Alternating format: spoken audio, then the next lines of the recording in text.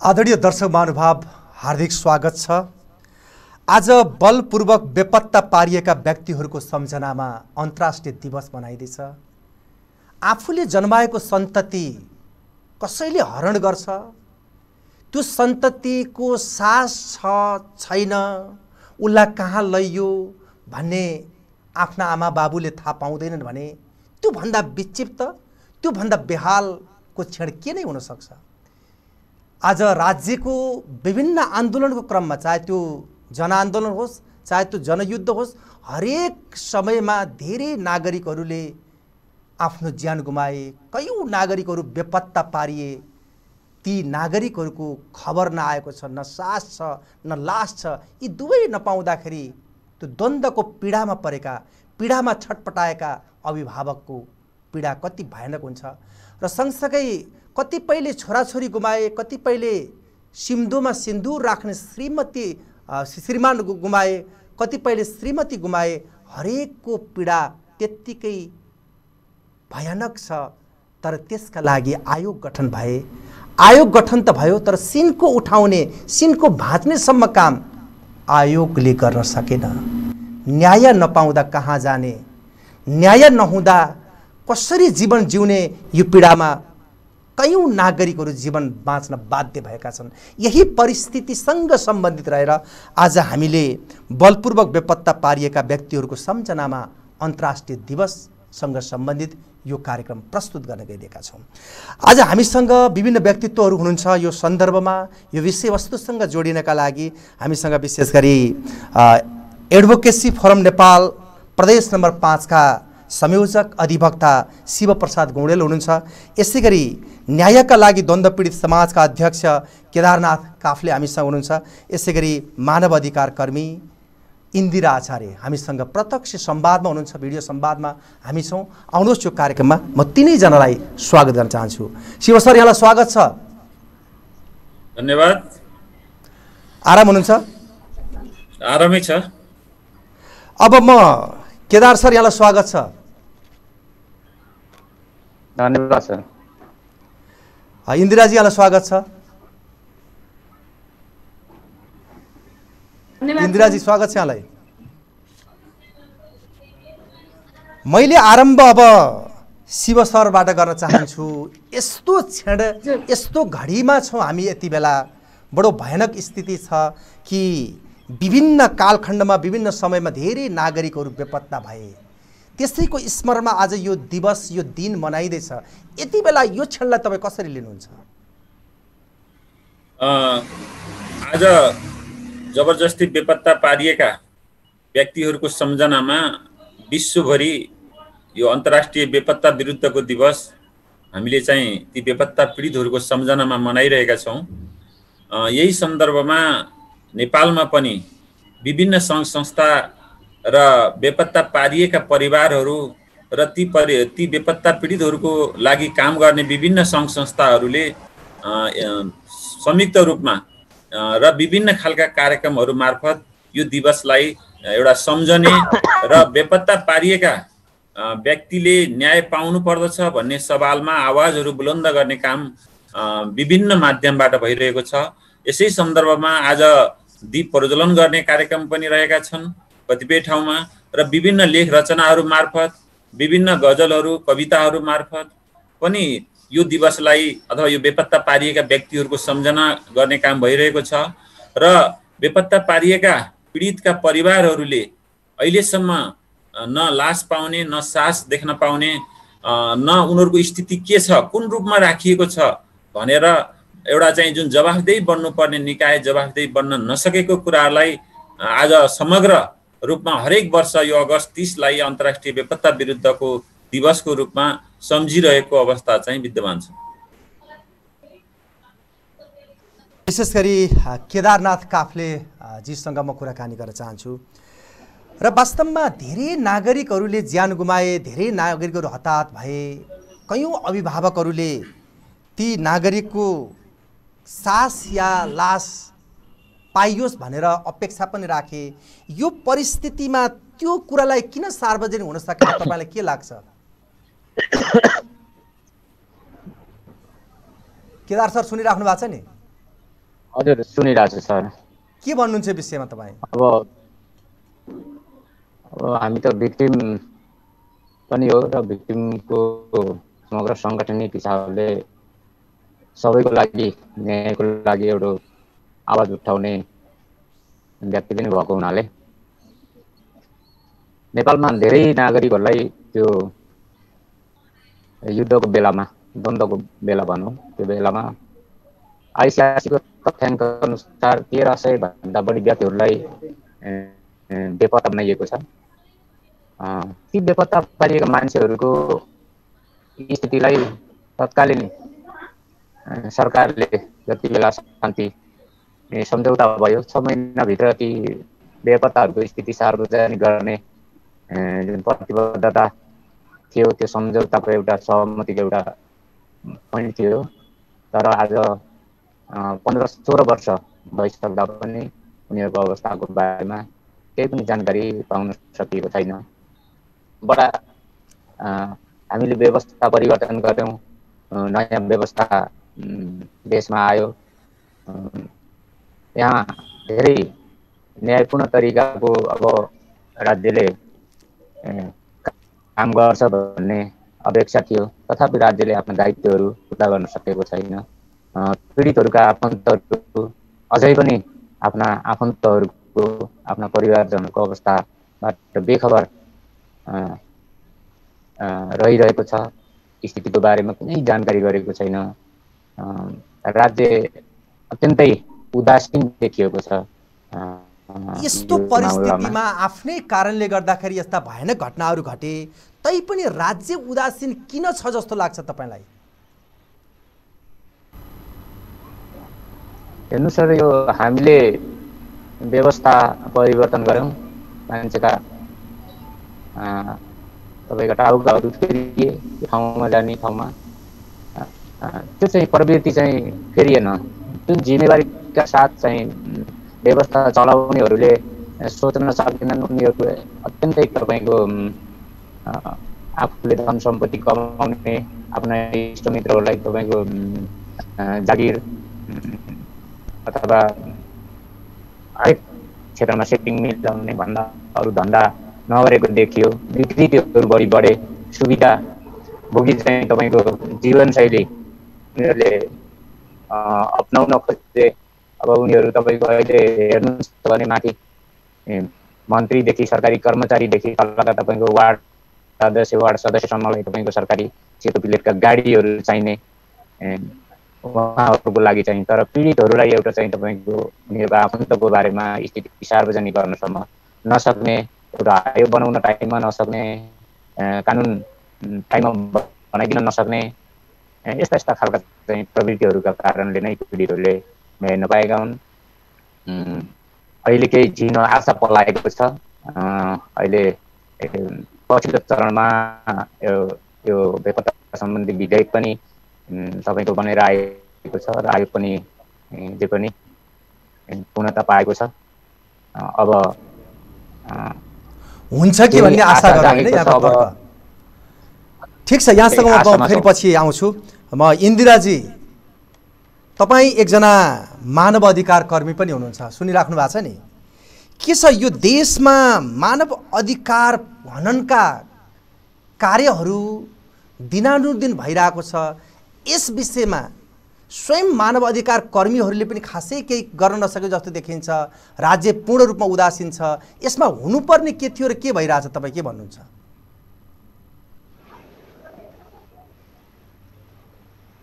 इन्दिराजी सुनिराख्नु भएको छ नि? इन्दिराजी? नेपालमा दस वर्ष हजुर सुनिराखेको छु तर इन्टरनेट त्यति राम्रो छैन। हजुर हजुर।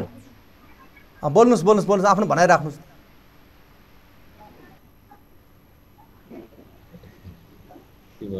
ठिक छ यहाँसँग म पछि आउँछु केही बेर पछि।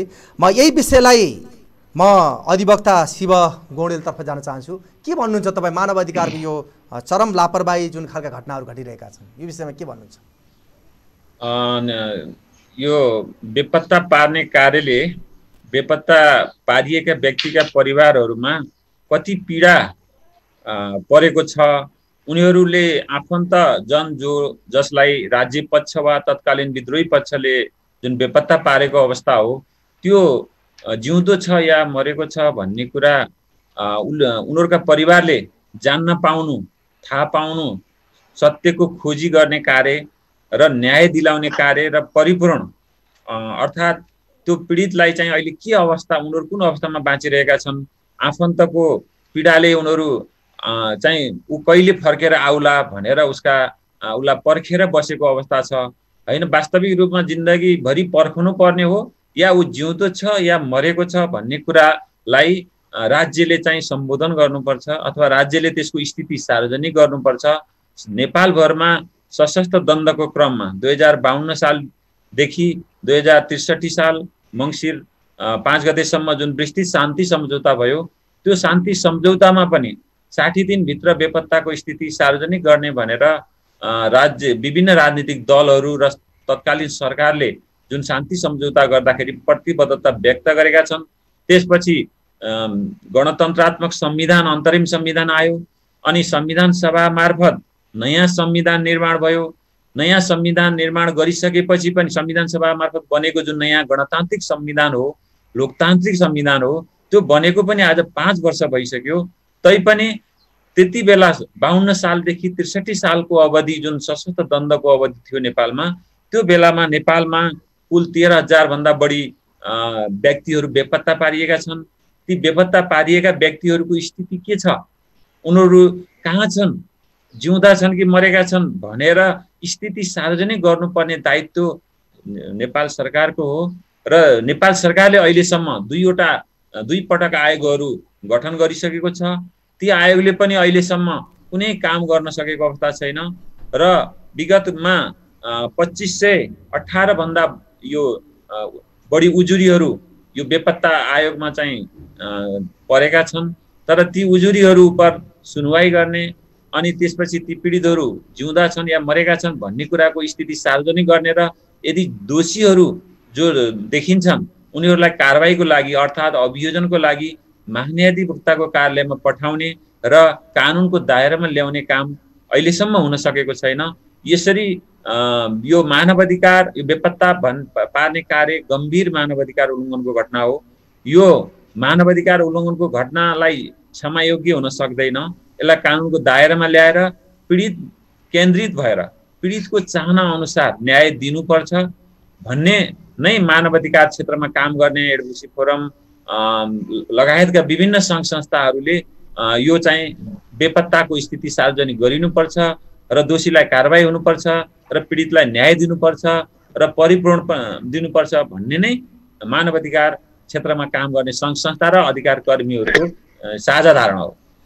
जस्तै जस्तै शिवजी भर्खरै हाम्रो काफ्लेजीले भन्नुभयो कि अब आयोग गठन भइसकेपछि केही आशा पलाएको छ केही हुन्छ कि भन्ने खालको कुरा उहाँको एउटा अवधारणा जोडिया छ।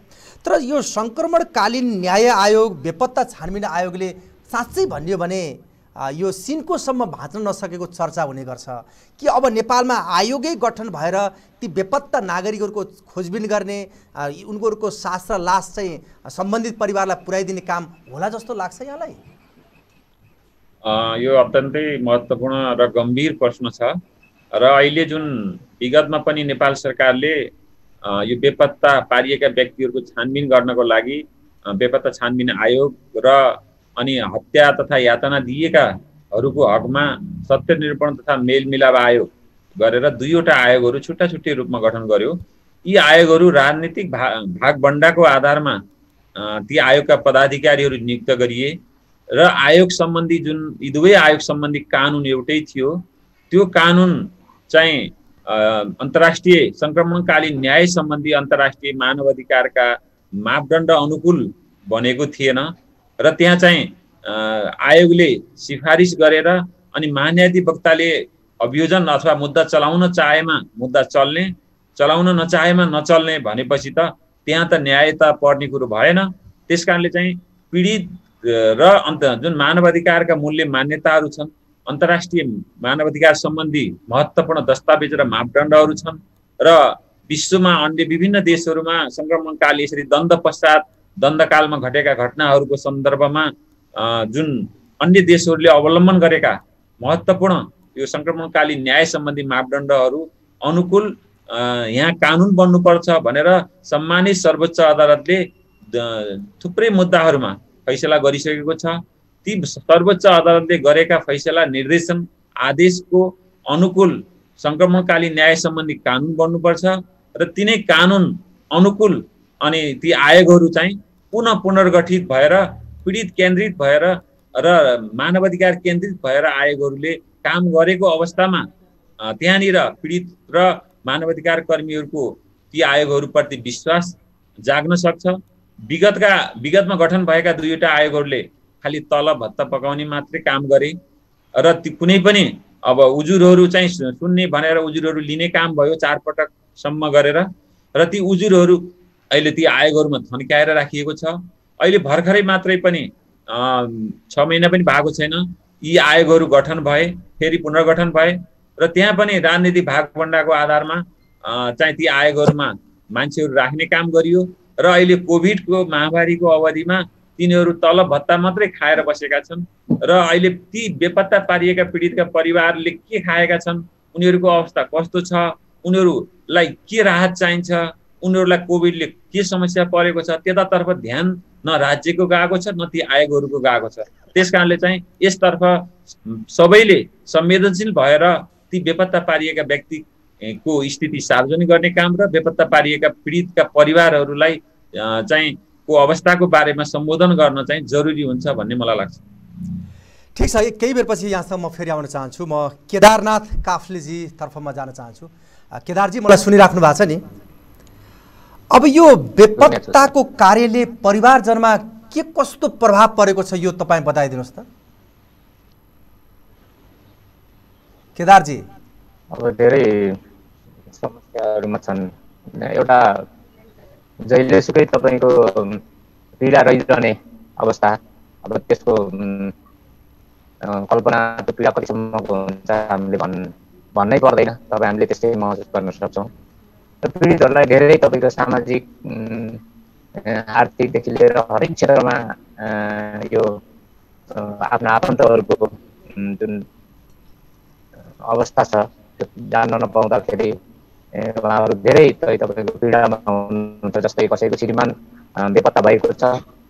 उहाँको विभिन्न पैतृक सम्पत्तिहरू अंश बन्दादेखिका कुराहरूमा उहाँहरू त्यहाँनिर पीडित हुनुहुन्छ। बालबच्चाहरू बालबच्चाहरू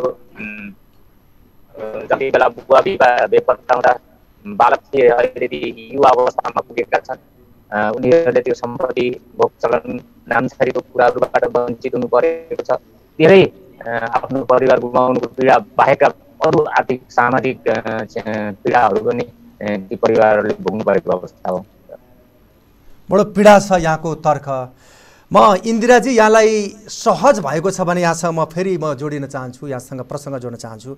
तपाईँ मानव अधिकारको क्षेत्रमा काम गर्नुहुन्छ। के छ यो देशको परिस्थिति? यहाँ मानव अधिकारका हननका घटनाहरू कतिको पाउनुहुन्छ? एकले अर्काप्रति हेर्ने दृष्टिकोण कस्तो देख्नुहुन्छ तपाईँ? वास्तवमा नेपालमा चाहिँ दस वर्ष जनयुद्ध पश्चात चाहिँ शान्ति सम्झौता पश्चातको अवस्थामा मानवाधिकारको अवस्था सुध्रिँदै जाला भन्ने जुन खालले हामीले आशा परिकल्पना गरेका थियौँ। त्यो आशा र परिकल्पना भन्दा एकदमै विपरीत भएको अवस्था चाहिँ अहिलेको अवस्था पनि त्यही नै अवस्था हो। हामीले बेपत्ता आयोग छानबिन आयोगको गठन पश्चात त्यसले चाहिँ यो बेपत्ता सम्बन्धी विधेयक पनि बनाए सरकारले चाहिँ बेपत्ता सम्बन्धी विधेयक विधेयक पनि बनायो।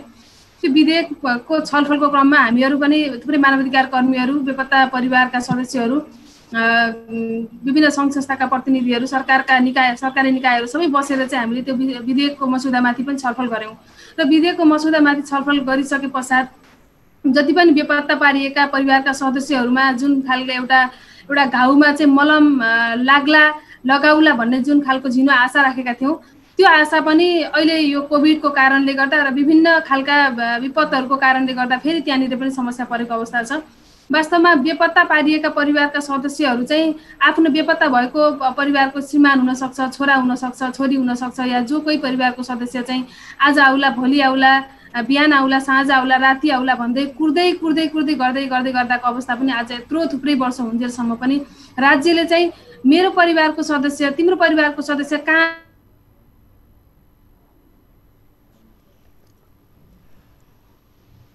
परिवारको सदस्य चाहिँ जिउँदो छ या मरेको छ यतिको मात्रै भए पनि जानकारी गराइ राज्यले गराउँदा पनि ठुलो साहस अलिकति हौसला बढ्थ्यो। तर त्यो खालको अवस्था पनि रहेन। वास्तवमा नेपालमा मानवाधिकारको अवस्था हेर्ने हो भने चाहिँ द्वन्द कालका घटनाहरूदेखि लिएर महिलामाथि हुने हिंसा बलात्कार जघन्य खालका विभिन्न खालका अपराध लगायतका अपराधका घटनाहरूले चाहिँ दैनिक रूपमा महिला बालबालिका र यो द्वन्द्वका क्रममा भएका द्वन्द पीडितहरूको परिवारमा चाहिँ अहिले कहिले पनि मलम लाउन नसकेको कहिले पनि शान्तसँग चाहिँ आफूले सास फेर्न नपाएको यो अवस्था अहिले पनि जल्दो बल्दो छ। यसलाई चाहिँ हटाउनको निम्ति चाहिँ राज्य आफैमा संवेदनशील हुनुपर्ने राज्यका निकायहरू अब संवेदनशील हुनुपर्ने अहिले कम तिनवटा सरकार छन् स्थानीय प्रदेश र सङ्घीय सरकार यी तिनवटा तिनैवटा सरकार चाहिँ यो मुद्दामा चाहिँ विशेष रूपमा चाहिँ त्यति संवेदनशील रहेको अहिले पनि पाइएको छैन। अझै पनि हामीलाई चाहिँ गाउँ गाउँमा घर घरमा आँगन आँगनमा सिंहदरबार आयो भनेर हिजो जुन खालले नागरिकले आशा अपेक्षा राखेका थियौँ यो खालको अब आशा अपेक्षा पनि पुरा पुरा हुन सकिरहेको अवस्था छैन। यसले हेर्दा चाहिँ इन्दिराजीको प्रसङ्ग बडो सान्दर्भिक पनि छ। म यही विषयसँग जोडिएर शिव गौडेलसँग प्रसङ्ग जोड्न चाहन्छु। शिवजी जस्तै हिजो द्वन्द्वकालमा सायद त्यो जनयुद्ध होस् सायद त्यो जनआन्दोलन होस् जसले नेतृत्व गर्यो नि ती नेतृत्व गर्नेहरू अहिले सत्तामा छन्। त्यो सत्तामा रहेको कारणले गर्दाखेरि उनीहरू वास्तवमै त्यो घटनासँग त्यो विषयसँग बढी जोडिन नचाहेर ती बेपत्ता परिवारको जुन लाई जहाँ जहाँ शास्त्र आशको कुरा गरि लासको कुरा गरिरहेको छ त्यो खोजबिनमा उनीहरू महत्त्व नदिएको कारणले यस्तो भएको हो भनेर बुझ्न सकिन्छ? निश्चित रूपमा यो राजनीतिक इच्छा शक्ति सबैभन्दा महत्त्वपूर्ण हुँदो हुँदो रहेछ।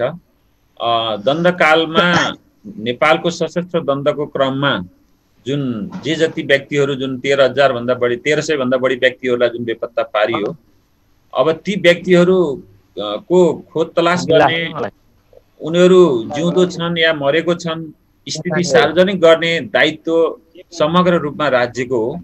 राज्यका विभिन्न निकायमा राजनीतिक दलकै पहुँच हुन्छ। राजनीतिक दलहरू त्यति बेला दण्डकालमा सरकारमा हुने र अनि सशस्त्र विद्रोह गर्ने दुवै खाले राजनीतिक नेतृत्वहरू अहिले सरकारमा छन्। र प्रतिपक्षमा छन्। र तिनीहरूको इच्छा शक्ति बिना यो चाहिँ सङ्क्रमणकालीन न्यायले चाहिँ मूर्त रूप पाउन गाह्रो छ। र त्यहाँनिर दोषी पनि आफै पीडित पनि आफै दोहोरो रूपमा चाहिँ पर्ने सम्भावना बढी देखेको कारणले गर्दा नै यो दुईवटा आयोग मात्रै गठन गर्ने अनि आयोगलाई चाहिँ म्याद थप गर्दै जाने अनि टालटुले टालटुल किसिमले चाहिँ पीडितहरूलाई चाहिँ सुरुमा एक लाख त्यसपछि दुई लाख गर्दै अहिले दस लाखसम्म दिएर चित्त बुझाउने काम जुन परिपूर्णको हकमा भएको छ तर त्यतिले मात्रै सङ्क्रमणकालीन न्याय लाई सम्बोधन हुँदैन। सङ्क्रमणकालीन न्यायको लागि सत्य थाहा पाउनु पर्ने पीडितको सबैभन्दा महत्त्वपूर्ण राइट हो। त्यो सत्य अनि न्यायका कुरा अनि परिपूरणका कुरा र अनि त्यसपछि अभियोजनका कुरा र संस्थागत सुधार यी चारवटा मुख्य खम्बा सङ्क्रमणकालीन न्याय अन्तर्गत पर्दछन् र परिपूरण चाहिँ सामान्य खालको आर्थिक सहयोगले मात्रै पुग्दैन। ती खा उनीहरूलाई किन बेपत्ता पारियो किन मारियो दण्डकालमा? त्यो बेलामा राज्य पक्ष र विद्रोही पक्ष दुवै समान रूपमा जिम्मेवार छन् र अहिले ती त्यो सङ्क्रमणकालीन न्याय र ती दण्डकालमा बेपत्ता पारिएका हत्या गरिएका यातना दिएका अथवा हिंसा गरिएका जुनसुकै प्रकारका घटनाका दोषीहरू उप दुईवटा आयोगहरूमा तमाम उजुरी परेका छन्। मैले अघि नै भनिसकेँ बेपत्ता आयोगमा पनि पच्चिस सयभन्दा बढी उजुरी परेका छन्। ती उजुरीहरूमा चाहिँ अहिले चाहिँ को लगत कट्टा जस पच्चिस सय उन्प चौबिस सय उन्साठीजना व्यक्तिहरू बेपत्ता भएको भनिएको छ। र त्यो चौबिस सय उन्साठीजनामा पनि एकतिस सय सन्तानब्बे मध्ये छ सय उनानब्बेको उजुरीको लगत कट्टा गरेर अहिले पच्चिस सय छवटा उजुरी बेपत्ता पारिएका व्यक्तिको छानबिन आयोगमा रहेको अवस्था हामीले पाउँछौँ। र त्यहाँनिर त्यो आयोगले चाहिँ एउटा कार्यादेश सहित अनुसन्धान अधिकारी र कार्य टोली तोकेर निजहरूलाई कागज गराउने पीडितहरूसँग पुनः फेरि छलफल गर्ने अनि त्यो घटनासँग सम्बन्धित व्यक्तिहरू साक्षीहरू को चाहिँ बयान लिने अनि त्यसपछि दोषी देखिएका व्यक्तिहरूलाई चाहिँ आयोगमा बोलाउने छलफल गराउने यदि आयोगमा बोलाउँदा नआएमा उसलाई पत्रचार गर्ने अथवा प्रहरी मार्फत पक्राउ गर्नेदेखिका सम्पूर्ण अधिकार यी अधिकार सम्पन्न यी दुवै आयोगहरूलाई प्राप्त छ। र अहिले भएको विद्यमान कानुनमा परिमार्जन गरेर गर्ने भनेर संसदमा अड्किएको छ जुन यो सत्यनिरूपण तथा सङ्कल्पकालीन न्याय सम्बन्धी दुईवटा आयोगहरूको जुन कानुन हो त्यो चाहिँ त्यहाँ थन्किएको छ। तैपनि यो बेपत्ता पार्ने कार्य गम्भीर मानव अधिकारको उल्लङ्घनको घटना हो। पीडितहरूलाई कहिलेसम्म उनीहरूलाई आशा र निराशामा बाँच्न बाध्य पार्ने त्यो मानव अधिकारको दृष्टिकोणले गम्भीर हो। यो गम्भीर मानव अधिकारको उल्लङ्घनको घटना हो यो बेपत्ता पार्ने कार्य। यो दण्ड पछाडिका घटनाहरूको हकमा त बेपत्ता सम्बन्धी अहिले यो मुलुकी फौजदारी अपराध संहितामै व्यवस्था गरिएको छ र दण्डको कालको लागि त्यसले सम्बोधन गर्न सक्दैन किन भन्दा हदम्यादै हुँदैन। र दण्डकालको हदम्याद नभएको हुनाले नै यो छुट्टै कानुन बनाएर यसलाई चाहिँ अगाडि बढाइएको अवस्था हो र सम्बोधन गर्नुपर्छ भन्ने कुरा हो। र अब यी आयोगहरूले काम गर्नको लागि अहिले चाहिँ कोभिडको कारण देखाएर अहिले यस सम्बन्धमा केही पनि गरिएको छैन तर तिनीहरूको अवस्था र उनीहरूलाई सहयोग गर्नुपर्ने कुरामा आयोगले अलिकति ध्यान दिनु पर्थ्यो। त्यो पनि ध्यान दिएको अवस्था छैन। र सरकारले यसरी आफै दण्डकालमा बेपत्ता पार्ने र पराउनेहरूको सरकार छ। अब र प्रतिपक्ष छ। अब उनीहरूले चाहिँ चाहे यस्तो खालको घटना जो कोहीबाट भएको किन नहोस् ऊ कानुनको दायरामा आउनुपर्छ। यदि पीडितले उसलाई चाहिँ कानुनको दायरामा आइसकेपछि वास्तविक दोषी देखिएको अवस्थामा कसैले आरोप लगाएर मात्रै त भएन। त दोषी देखिएको अवस्थामा र अन्य सम्बद्ध प्रमाणबाट पुष्टि भएको अवस्थामा कानुन बमोजिम सजायको भागीदार हुने राज्यले पीडितबाट आम माफी माफी पाउन सक्ने अवस्था हो भने पीडितले मात्रै दिनु पर्यो अरूले माफी दिएर सरकारले माफी दिएर यस्ता गम्भीर मानवाधिकार उल्लङ्घनका घटनालाई यो ढाकछोप गर्न पाइँदैन। र यसमा चाहिँ यदि राज्यले नेपालले यसतर्फ चासो देखाउँदैन भने यसमा संयुक्त राष्ट्रसङ्घले पनि विशेष ऱ्यापोर्टरहरू विशेष दूतहरूलाई चाहिँ यहाँ नेपालमा पठाएर यस सम्बन्धमा छानबिन गर्न चाहिरहेको छ तर नेपाल सरकारले तिनलाई यहाँ आउन दिएको छैन।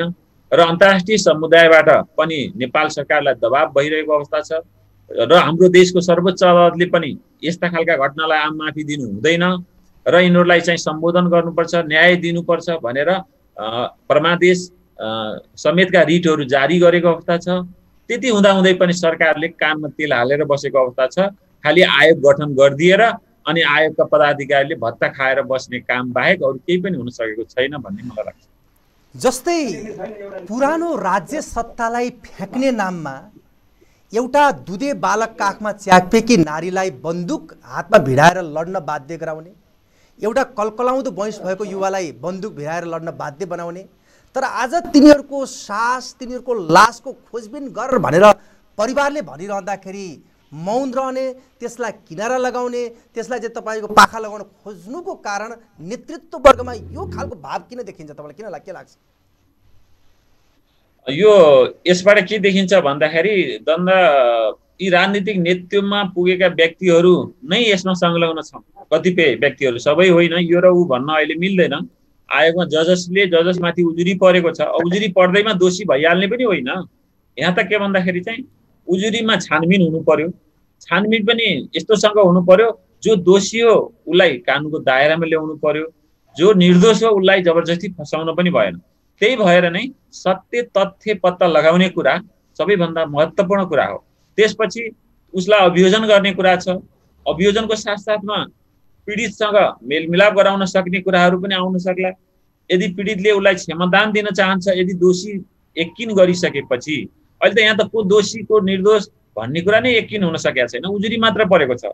उजुरी मात्रै ठुलो कुरो भएन। उजुरी परिसकेपछि त्यससँग सम्बद्ध प्रमाणहरू साँची प्रमाण सङ्कलन गर्नु पर्यो। त्यति बेलाका घटनामा प्रत्यक्ष रूपमा देख्ने व्यक्तिहरू भोलि त बिस्तारै गएर उनीहरूको मृत्यु हुन सक्छ। न्याय माग्ने व्यक्तिहरू पनि न्याय माग्दा माग्दै मृत्यु भइसकेका छन् कति। यातना पाएका खुट्टा भाँचिएका व्यक्तिहरू अहिले चाहिँ उनीहरू न्याय माग्दा माग्दै मृत्यु भइसक्यो। उनीहरूले न्याय पाउन सकेन अब यस्तै गरेर बेपत्ता पारिएका व्यक्तिहरूका परिवार पनि आफ्नो आफन्तको न्यायको लागि चाहिँ उनीहरूले आवाज उठाउँदा उठाउँदै उनीहरूको पनि मृत्यु हुनसक्छ अहिले त तपाईँको यो घटना घटेको त बाहन्न सालमा हो बाहन्न सालदेखि हो। त्रिसठी सालसम्मका घटनालाई सम्बोधन गर्ने हो। अहिले त पन्ध्र वर्ष भइसक्यो। अब यत्रो पन्ध्र वर्षसम्म पनि अहिले शान्ति सम्झौता भएको यतिका वर्षसम्म पनि यो साठी दिनभित्र सार्वजनिक गर्ने भनेका कुराहरूतर्फ व्यवस्था गरिन्छ भने र कानुन प्रभावकारी कानुन मानव अधिकार अनुकूलको कानुन बनाउन पनि हिचकिचाट गरिन्छ भने यहाँनिर त निश्चित रूपमा के देखिन्छ भने यो घटनालाई बिस्तारै चाहिँ हराउँदै जान्छ अनि सबैले वास्ता गर्न छोड्छन् भन्ने छ। तर अन्तर्राष्ट्रिय समुदायले त आँखा हेर गाडेर हेरिरहेको छ। मानव अधिकार क्षेत्रमा काम गर्नेहरूले चाहिँ यो चाहिँ सम्बोधन हुनुपर्छ भनेर भनिरहेका छन् आवाज उठाइरहेका छन्। पीडितहरूले न्याय मागिरहेका छन्।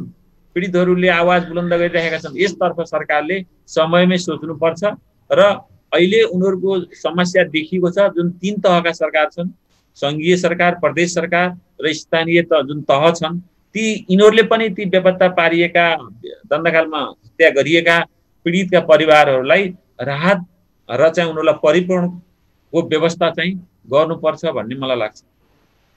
अब इन्दिराजी तपाईँ मानव विशेष गरी मानव अधिकारको क्षेत्रमा काम गर्नुहुन्छ। जुन खोजबिन हुनुपर्छ जुन खालको चाहिँ घटना घटिरहेका छन् त्यो चाँडै यथार्थ बाहिर ल्याउनुपर्छ भनेर शिवजीले भनिराख्नु भएको छ नि। यही पाराबाट यही तालबाट यही तरिकाबाट त्यो कुरा स्पष्ट रूपमा बाहिर आउला जस्तो लाग्छ तपाईँलाई?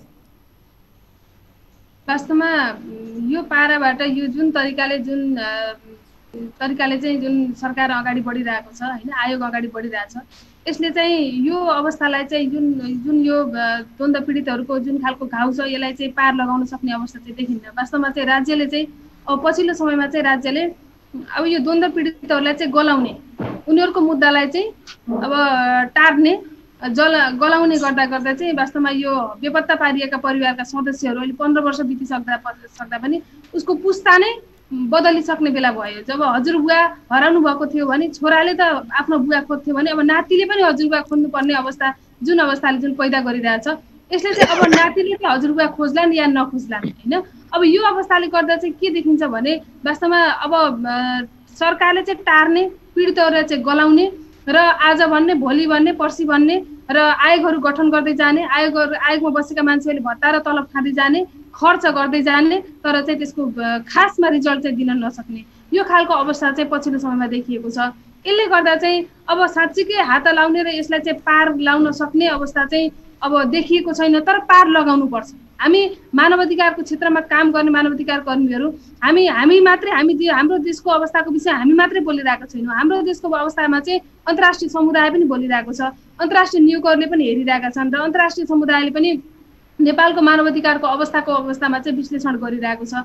यो अवस्थामा चाहिँ साँच्चीकै द्वन्द्वकालका घटनाहरूलाई गलाएर मात्रै टालटुल गरेर मात्रै समस्या समाधान गर्न सकिएला गरिएला भनेर राज्य जुन तरिकाले अगाडि बढिरहेको छ। यो अवस्थाले पक्कै पनि न्यायका निम्ति लडिराखेका जति पनि व्यक्तिहरू हुनुहुन्छ आफ्नो हजुरबुवाकै लागि लडेका आफ्ना बुवाकै लागि लडेका आफ्ना आमा दिदीबहिनीहरूका लागि लडेका जति पनि दिदीबहिनीहरू दाजुभाइहरू हुनुहुन्छ उहाँहरूले त पक्कै पनि आफ्नो यो मुद्दालाई छोड्न सक्नुहुन्न। आज यहाँ सँगै केदारजी हुनुहुन्छ उहाँ बेपत्ता परिवारको सदस्य हो। उहाँले चाहिँ आफ्नो मुद्दा उहाँ आफू जिउँदो हुन्जेलसम्म यो मुद्दा छोड्न सक्नुहुन्न। उहाँको छोराहरू पनि यो मुद्दाको विषयमा उहाँका छोराछोरीहरू पनि यो मुद्दाको विषयमा अभ्यस्त भइसके भने त हिजो बुवाले छोपेको मुद्दा आज भोलि छोराछोरीहरूले पनि छोड्न सक्ने अवस्था पनि रहन्न। यो अवस्थामा चाहिँ सरकारले चाहिँ गलाउनतिर लाग्ने तर द्वन्द पीडितका परिवारका सदस्यहरू चाहिँ गल्नतर्फ गल्ने अवस्था सिर्जना नहुने अवस्थामा चाहिँ अगाडि बढ्ने। यो अवस्थाले चाहिँ के हुन्छ भने वास्तवमा अझै पनि यो द्वन्द्वकालका घटनाहरूमाथि अझै पनि लडाइँ चलिरहेको छ। जुन जुन द्वन्द्वरत पक्षहरू र सरकार पक्षहरू अहिले सरकारमा सँगै छन् अब उनीहरूले चाहिँ हिजोको घटनाका घटनालाई समाधान गर्नको लागि कुनै पनि समस्या छैन। उनीहरूलाई थाहा छ। कसरी घटना समाधान गर्न सकिन्छ? कहाँ छन्? विपत्ता कहाँ गाडेर विपत्ता गरिएको छ अथवा कहाँ बन्द गराइएर विपत्ता पारिएको छ अथवा कहाँ राखिएको छ भन्ने कुरा प्रष्टसँग थाहा छ। नेपाली सेनालाई थाहा छ नेपाली प्र नेपाल प्रहरीलाई थाहा छ राज्यका संयन्त्र निकायहरूलाई थाहा छ। तर यो थाहा पाइ पाए पनि यो घटनालाई चाहिँ बाहिर नदेखाएको मात्र यो नसुनाएको मात्रै हो। वास्तवमा भने अघि शिव सरले भन्नुभयो बेपत्ता पीडित अथवा द्वन्द्व पीडित परिवारले चाहिँ आम माफी दिन सक्छ नि त। अरूले आम आम माफी दिएर पनि भएन। तर परिवारका सदस्यले आम माफी दिएर पनि त यो समस्या समाधान हुन सक्थ्यो नि। तर राज्य लुकाउन तर्फतिर मात्रै लागिरह्यो लुकाउनतर्फ मात्रै अभ्यस्त भइराख्यो। यसले गर्दा चाहिँ पीडितहरूले चाहिँ न्याय पाउन सक्ने अवस्था भएन। न्याय मरेको चाहिँ होइन तर न्याय मार्ने कोसिस गरिएको हो। तर न्याय मार्न जुन हिसाबले खोजिएको छ तर हामी मानवाधिकारको क्षेत्रमा क्रियाशील हामी राष्ट्रिय र अन्तर्राष्ट्रिय गैर सरकारी संस्था मानवाधिकारको क्षेत्रमा क्रियाशील व्यक्तिहरू विभिन्न खालका अभियानहरू चाहिँ सुकेका छैनन्। यी यी अभियानहरूले चाहिँ यो यो अवस्थालाई यो परिदृश्यलाई निहालिरहेका छन् अभ्य अनुसन्धान गरिराखेका छन् र यसलाई चाहिँ कुनै पनि मामलामा चाहिँ यो अवस्थालाई चाहिँ तुहाउन जुन खाले राज्यले खोजिरहेको छ यो तुहाउन खोजिरहेको अवस्थामा चाहिँ हामी मानवाधिकार कर्मीहरू चाहिँ चुप लागेर बस्न सक्दैनौँ। एकैछिनपछि म इन्दिराजीसँग आउन चाहन्छु। त्योभन्दा अगाडि म फेरि केदारनाथ काफले प्रति म केन्द्रित हुन चाहन्छु। केदारजी न्यायका लागि सम्बन्धित निकायको ढोका घचघचाउँदाखेरि सो निकायले के जवाफ दिन्छ के पाउनु भएको छ तपाईँहरू अहिले चाहिँ? के आश्वासन पाउनु भएको छ?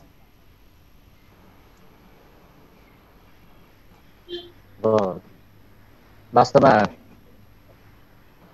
राज्यले नै नागरिकहरूलाई न्याय प्रदान गर्ने मुख्य जिम्मेवारी हो। न्यायको प्रत्याभूति गराउनु राज्यको प्रथम दायित्व हो। र नेपालको जुन यो जुन बेपत्ता भइएको छ यसको एउटा विशिष्ट पृष्ठभूमि छ यो सशस्त्र द्वन्द्व एउटा राजनीतिक हिसाबबाट नेपालमा द्वन्द्व भयो त्यसबाट धेरै मान्छे हताहत हुने बेपत्ता हुने अवस्था सिर्जना भयो। तथापि युद्धमा यस्ता घटनाहरू हुन्छन्। हामीले विश्वभरिका उसमा हेरेका छौँ तर त्यो द्वन्द्वपछि निर्माण हुने राज्य सत्ताले ती सम्पूर्ण मुद्दाहरूलाई हल गरेर अगाडि बढ्नु प्रमुख दायित्व हुन्थ्यो। तर आज हामी पीडितहरू भनौँ हामी विभिन्न राजनीतिक विचारमा आस्था राख्छौँ होला। हामी अहिले सरकार कस्तो छ? हिजो तपाईँको विद्रोहीलाई दबाउन खोज्ने पनि सरकारमा छन् हिजो विद्रोह गर्नेहरू पनि सरकारमा छन्। तर पीडितहरूले जसरी न्याय मागिरहेका छन् पीडितहरूले जुन न्याय उनीहरूले दिनुपर्ने पहिलो उहाँहरूको जुन कर्तव्य थियो उहाँलाई उहाँहरूले बोध गर्नुभएको छैन। यो अत्यन्तै संवेदनशील विषय हो। पीडितहरूलाई न्याय दिने जसरी त्यही द्वन्द्वको बेलामा जति मान्छेहरूले पीडाका आँसुहरू भगाएका छन् जति पीडा भोगेका छन् त्यही पीडाको पृष्ठभूमिमा यो राज्य सत्ता उभिएको छ। र भोलि ती पीडितहरूले न्याय पाएनन् भने ती गम्भीर अपराधका दोषीहरूले कुनै न कुनै प्रकारको तपाईँको कारवाहीको दायरामा आएनन् भने भोलि यो देशको अन्तर्राष्ट्रिय छवि पनि बिग्रने कुरा हुन्छ र पीडितहरूले अन्तर्राष्ट्रिय मञ्चमा अन्तर्राष्ट्रिय नियोगहरूमा हामीलाई यहाँ न्यायको प्रत्याभूति भएन हामीलाई सब त्रास र सन्तास पैदा भयो भनेर आरक्षण अथवा तपाईँको चाहिँ त्यस्तो खालको चाहिँ तपाईँको चाहिँ आश्रय सङ्गठित रूपमा ती पीडितहरूले माग्न गयो भने सोच्नुहोस् नेपालको छवि के हुन्छ? अन्तर्राष्ट्रिय जगतमा यहाँ नेतृत्व गर्ने नेताहरूको अन्तर्राष्ट्रिय छविमा के असर पर्छ? यहाँहरूले उहाँलाई यसलाई चाहिँ यी गरिबका छोराहरू बेपत्ता भएका छन्। गरिबका छोराहरू मरेका छन्। यिनीहरूले धेरै आवाज उठाउन सक्दैनन्। उनीहरू त्यत्रो पहुँच पनि छैन।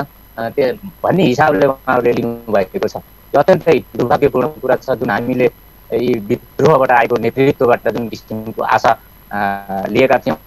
त्यो आशामाथि बिस्तारै तुसरापात हुन लागेको छ। तथापि हामीलाई केही आशा जागेको छ। अहिले यो पछिल्लो राजनीतिक जुन अवस्था छ अहिले जुन सरकार जुन स्टेबल सरकार छ त्यसबाट हामीले केही आशा चाहिँ गरेका छौँ। आशै मारेका भनेका होइनौँ हामीले कसैलाई फसाउने कुरा पनि होइन। पीडितहरूले अवश्य न्याय पाउनुपर्छ। यो न्याय नपाउँदासम्म पीडितको यो आवाजलाई कसैले पनि दबाउन सक्दैन।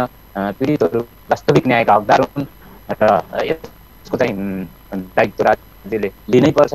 राज्यले अरू कामहरू पछि गरेर भए पनि पीडितलाई न्याय दिने काम बेपत्ता भएका मान्छेहरूको अवस्था सार्वजनिक गर्ने जुन पहिलो चरणको काम हो यो राज्यले अविलम्ब गर्नुपर्छ। यो हाम्रो प्रमुख माग हो।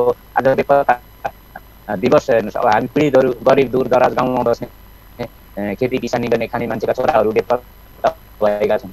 न हामी सहर बजारमा गएर मिडियाहरूमा आफ्ना भावनाहरू व्यक्त गर्न सक्छौँ धेरै प्रचार गर्न सक्छौँ।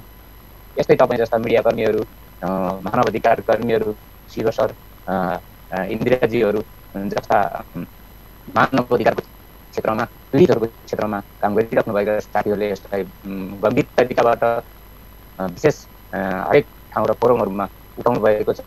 त्यसका लागि पनि म उहाँहरूलाई धन्यवाद दिन चाहन्छु र विशेष गरी हाम्रो राज्य जुन छ यो सरकारबाट पीडितहरूको जुन यो न्याय पाउने जुन विषय छ यसलाई प्राथमिक कामको सूचीमा सरकारले राखोस्। र जुन आयोग गठन भएको छ भनिएको छ पूर्ण रूपमा मलाई अलि जानकारी छैन। आयोगका कति सदस्यहरू नियुक्ति भए भन्ने कुरो यो चाहिँ म यसमा अपडेट दिइनँ तर यो हाम्रो चासोको विषय हो। अहिले यो लकडाउनको कारणले धेरै खबरहरूबाट हामी बेखबर हुनु परेको छ र म समग्र रूपन्देहीमा आइसिआइएससीको सूचीमा सात आठजना शिव सरलाई पनि थाहा छ। र उजुरी पच्चिसजना जति उजुरी छन् बाइसदेखि पच्चिस दिनमा उजुरीहरू परेका छन्। ती उजुरीमाथिको चाहिँ सुनवाई अविलम्ब राज्यले गरोस् भन्ने विशेष तरिकाले जोडदार तरिकाले आग्रह गर्न चाहन्छु। नेपाल सरकार। प्रसाद गौडेलतर्फ जान चाहन्छु। के यस्तो परिस्थिति छ बडो भयावह छ बडो नाटकीय ढङ्गबाट नाटक मञ्चन गर्ने काम हुन्छ जसले नेतृत्व गर्छन् नेतृत्व वर्गको परिचर्चै नगरौँ। अब हुनुपर्ने के हो? एकदम टु दि पोइन्ट यो यो भयो भने यो समस्याको समाधान हुन्छ भने ठ्याक्कै भनिदिनुहोस् त।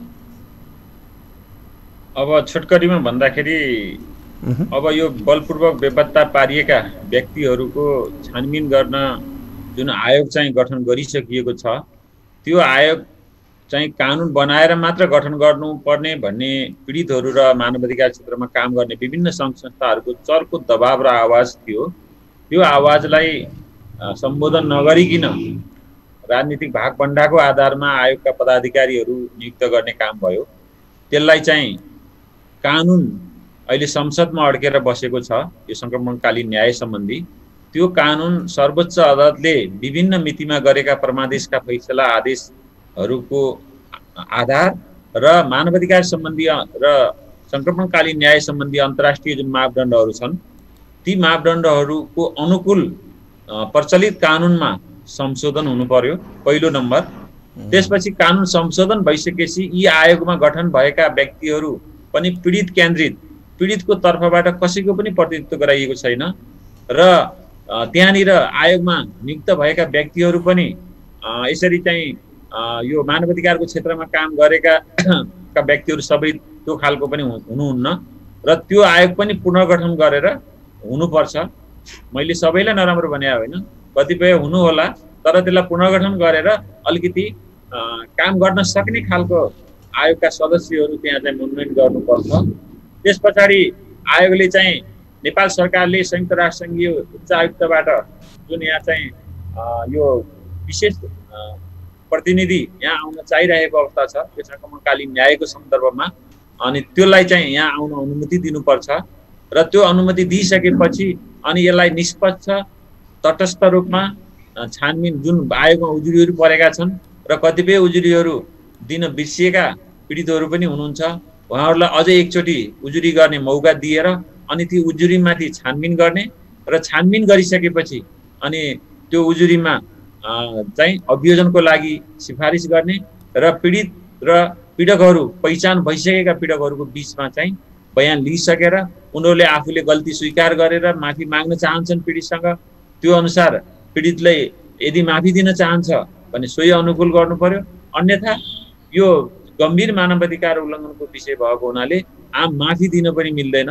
किन भन्दा यो चाहिँ मानवाधिकार जुन सम्बन्धी अन्तर्राष्ट्रिय जुन मापदण्डहरू छन् जसलाई नेपालले अनुमोदन पनि गरेको छ जस्तो कतिपय अनुमोदन गर्न बाँकी छ रोम विधानका कुराहरू अघि नै केदारजीले भन्नुभयो नेपालमा यदि पीडितहरूले न्याय नपाउने हो र यस्तै टालटुले रणनीति अपनाएर राजनीतिक दल र सरकारहरूले यस्तै गरी यसलाई लम्ब्याएर लैजाने हो लामो समयसम्म न्यायबाट वञ्चित यदि गराउने हो भने यिनीहरू भोलि गएर पीडितहरू अन्तर्राष्ट्रिय रूपमा चाहिँ उनीहरू संयुक्त राष्ट्रसङ्घ अथवा अन्तर्राष्ट्रिय न्यायालयमा जान बाध्य हुन्छन् र अन्तर्राष्ट्रिय रूपबाट नेपाल र नेपालका नेताहरूको छवि नेपाल सरकारको छवि अन्तर्राष्ट्रिय स्तरमा बिग्रन जान्छ। त्यस कारण हामीले नेपाल र नेपालीको छवि बिग्रन नदिनुको लागि र नेपालमा न्याय छ मानवाधिकार छ सबै कुरा यहाँ पाइन्छ भन्ने प्रत्याभूति दिनको लागि पनि हामीले चाहिँ यो जुन समस्या जुन हो यो समस्यालाई सम्बोधन गर्नुपर्छ भन्ने मलाई लाग्छ। अब इन्दिराजी करिब हामी अन्त्यमा छौँ। तपाईँ मानव अधिकारको क्षेत्रमा काम गर्नुहुन्छ। निचोडमा यो टेलिभिजन मार्फत तपाईँ के भन्न चाहनुहुन्छ? बुद्ध टेलिभिजन मार्फत। वास्तवमा मानव अधिकारको क्षेत्रमा काम गरिरहँदा चाहिँ आज अन्त अन्तर्राष्ट्रिय बेपत्ता पार्ने कार्यविरुद्धको दिवस को अवसरमा मैले के भन्न चाहन्छु भने जति पनि मानवाधिकार हनन भएका घटनाहरू छन् जति पनि मानवाधिकार हनन भएका घटनाहरूमा चाहिँ अहिले सरकारका तिन तहहरू छन्। तिनै तहहरूले यसलाई चाहिँ गम्भीरतापूर्वक यसलाई चाहिँ एउटा मुद्दाको रूपमा चाहिँ अगाडि बढाउन सक्यो भने पनि थुप्रै मानवाधिकारका हननका घटनाहरूमा मानवाधिकारका हननका घटना पीडितहरूले पनि न्याय पाउन सक्छन्। र हरेक खालका हरेक स्थानीय तहहरूले प्रदेश सरकारले र सङ्घीय सरकारले समेत विशेष खालको एउटा योजना बनाएर चाहिँ मानवाधिकार प्रवर्धन मानवाधिकारको संरक्षणका लागि चाहिँ विभिन्न खालका योजनाहरू बनाएर अगाडि बढ्यो। र मानवाधिकार कर्मीहरूसँग सहकार्य गरेर मात्रै यो अभियानलाई चाहिँ अगाडि बढाउन सक्यो भने वास्तवमा नेपालमा मानवाधिकारको अवस्था चाहिँ संरक्षण हुनसक्छ प्रवर्धन हुनसक्छ र मानवाधिकार हनन भएका घटनाहरूमा चाहिँ पीडितहरूले न्याय पाउन सक्ने अवस्था पनि कायम हुन सक्छ न्याय पाउने अवस्था चाहिँ रहन सक्छ।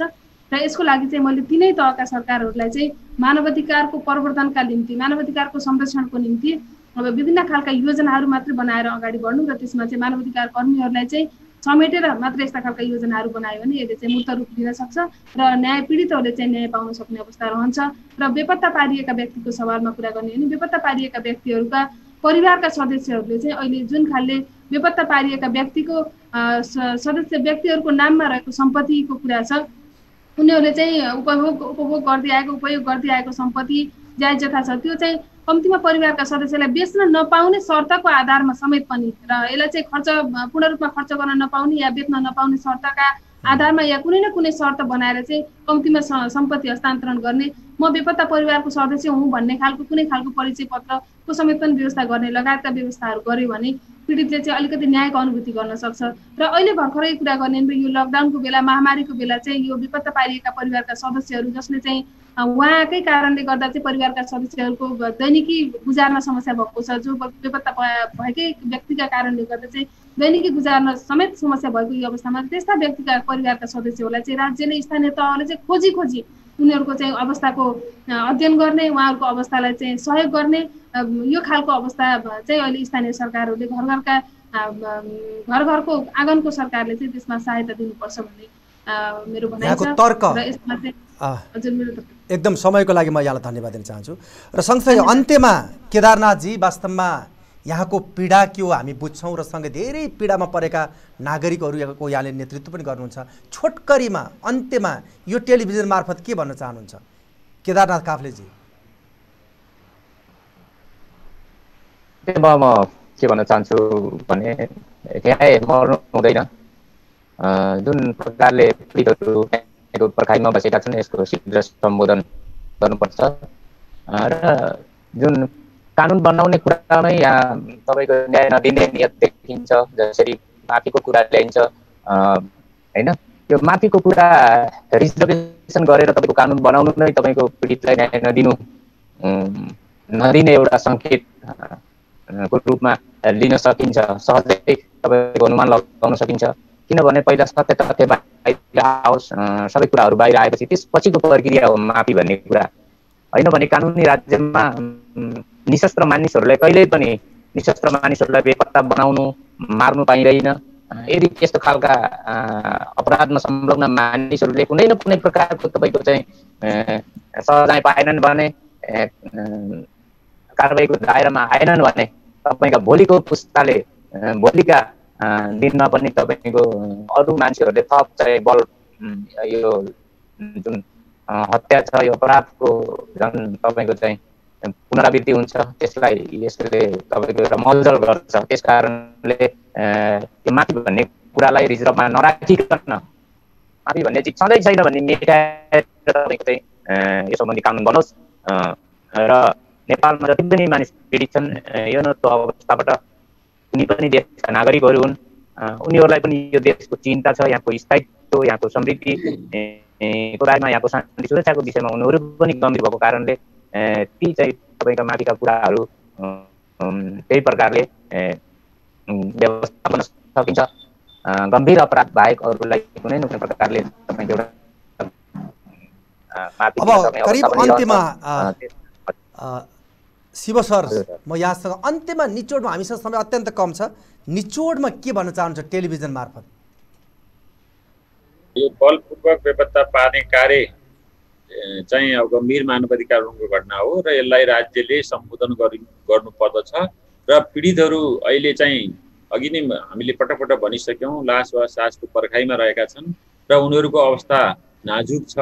अहिले चाहिँ कोभिडको महामारीको कुरालाई लिएर धेरै हाइलाइट गरिएको छ धेरै पैसा धनराशि खर्च गरिएको छ तर दण्डकालमा बेपत्ता पारिएका व्यक्तिहरू का परिवार जो लास वा सासको पर्खाइमा छन् तिनीहरूको अवस्थाको बारेमा सरकारले ध्यान दिन सकेको अवस्था छैन। अझ खास गरिकन दण्डकालमा बेपत्ता पारिएका व्यक्तिका परि श्रीमतीहरू जो चाहिँ आफ्नो पतिकै आश र पर्खाइमा बसेका बसेकी छन् तिनी एक हिसाबले भन्दा एकल महिला सरह छिन् तर तिनीहरूलाई राज्यले चाहिँ एउटा सामाजिक सुरक्षा भत्ताबाट वञ्चित गरेको छ। यो सबै तिनै तहका सरकारहरूले ती चाहिँ बेपत्ता पारिएका परिवारका श्रीमतीहरू जो हुन् बेपत्ता व्यक्तिका श्रीमती तिनीहरूलाई सामाजिक सुरक्षा भत्ताको व्यवस्था गरिनुपर्छ। दण्डकालमा जुन बेपत्ता पारिएका व्यक्तिका जुन छोराछोरी हुन् तिनीहरू उच्च शिक्षा पढ्नबाट वञ्चित छन्।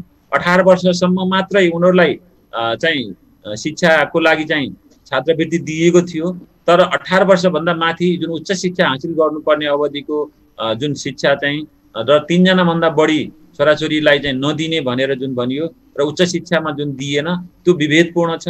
त्यसमा राज्यले तत्काल स्थानीय तिनै तहका सरकारले यसतर्फ ध्यान दिउन् र जुन बेपत्ता पारिएका व्यक्तिका परिवारहरू जुन समस्यामा छन् तिनलाई चाहिँ स्थानीय तहका सरकारहरूले आफ्नो पालिकाभित्र रहेका त्यस्ता पीडितहरूलाई चाहिँ सूचीकृत गरेर गाउँपालिकाबाट उनीहरूलाई उचित र पर्याप्त चाहिँ परिपूरणको व्यवस्था गरोस् राहतको व्यवस्था गरोस् परिचय पत्र बनाइदिएर उनीहरूलाई एउटा चाहिँ सहयोग गर्ने वातावरण र उनीहरूलाई उनीहरूका बालबच्चालाई नि शुल्क पढ्नेदेखि लिएर उनीहरूले नि शुल्क बिना धितो ऋण कर्जा लिने कुराहरूतर्फ ध्यान दियोस् र साथसाथै मृत बेपत्ता पारिएका व्यक्तिहरूको नाममा रहेको सम्पत्ति उनका परिवार छोराछोरी श्रीमतीहरूले नामसारी गर्न नपाएको धितो राखेर ऋण कर्जा लिन नपाएको गम्भीर समस्या छ।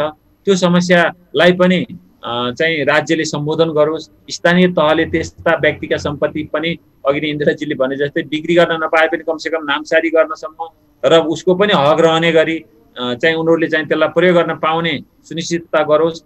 भन्दै यो अन्तर्राष्ट्रिय जुन बेपत्ता विरुद्धको दिवस हो आज यो दिवसको जुन बेपत्ता पारिएका व्यक्ति बेपत्ता पार्ने कार्य विरुद्धको दिवसमा बेपत्ता पारिएका परिवारहरू चाहिँ लाई म हार्दिक धन्यवाद दिन चाहन्छु। किनकि उहाँहरूले न्यायको लागि राज्यसँग अहिले पनि गुहार गरिराख्नु भएको छ र उहाँहरूको न्याय प्राप्तिको आन्दोलनमा म एकबद्धता प्रकट गर्न चाहन्छु। साथै म उहाँहरूलाई जुनसुकै प्रकारको सहयोग पनि गर्न म प्रतिबद्ध छु। महत्त्वपूर्ण समय दिनुभयो। म तिनैजनालाई विशेष धन्यवाद र आभार व्यक्त गर्दै अझै क्रियाशील भएर लाग्नु होला।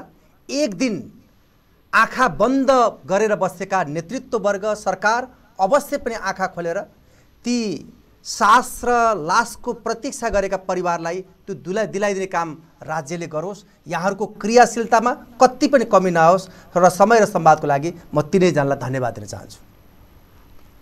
धन्यवाद हाम्रो तर्फबाट। आदरणीय दर्शक महानुभाव आज हामीले विशेष गरी बलपूर्वक बेपत्ता पारिएकाहरूको सम्झना मा अन्तर्राष्ट्रिय दिवसको उपलक्ष्यमा हामीले विशेष कार्यक्रम गऱ्यौँ किनकि विभिन्न बाहनामा विभिन्न कारणले नागरिकहरू बेपत्ता भए आज परिवारजनहरू लास पाइयोस् या सास चाहियो भनेर आशा र प्रतीक्षा गरेर बसेका छन्।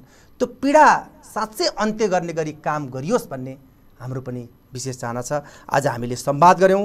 विशेष गरी अधिवक्ता शिव प्रसाद गौडेल जो एडभोकेसी फोरम नेपाल प्रदेश नम्बर पाँचका संयोजक हुनुहुन्छ। यसै गरी अध्यक्ष न्यायका लागि द्वन्द्वपीडित समाजका अध्यक्ष केदारनाथ काफ्ले र मानव अधिकार कर्मी इन्दिरा आचार्यसँग। उहाँसँगको यो कुराकानीसँगै यो कार्यक्रममा प्रविधिमा विशेष साथ दिने मित्र नरेश अधिकारी र आर भाइलाई विशेष धन्यवाद दिँदै यो कार्यक्रमबाट म पनि आगे चाहन्छु। नमस्कार।